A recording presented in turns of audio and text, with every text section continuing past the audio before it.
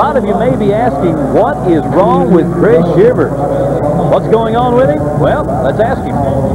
I think slump is pretty accurate, you know, in bull riding. I think 90% of bull riding is mental and, and uh, 10% of it's physical. Uh, it's true you got to be in great shape, but uh, it's a, it's a big mental game, you know, when you when you when you're facing fear and and and nowadays a lot of money.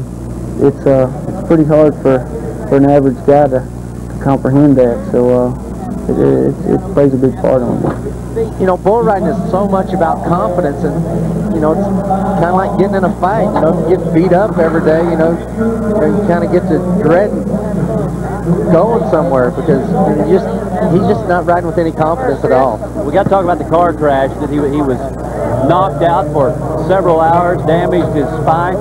You know, we failed to mention that. One of the reasons that that, makes, that slowed him down a bit. But prime time, a great bull. And this is a bull that he is uh, very difficult to ride and really dangerous. Look at the leap. Look at the leap. Get out of there. Get out of there. Get out of there. No. Could have driven a Ford truck underneath prime time when he jumped in the air.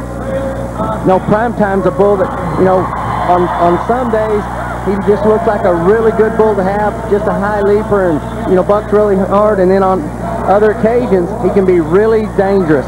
But he just explodes out of the chute, kind of acts like he wants to turn to the right there. Look how high he is. Just a, doesn't quite kick up, kind of gets a, just kind of bounces up in the air. And, you know, Chris, you know, it looked like he was in good position. All of a sudden, just when he, when he went to the right,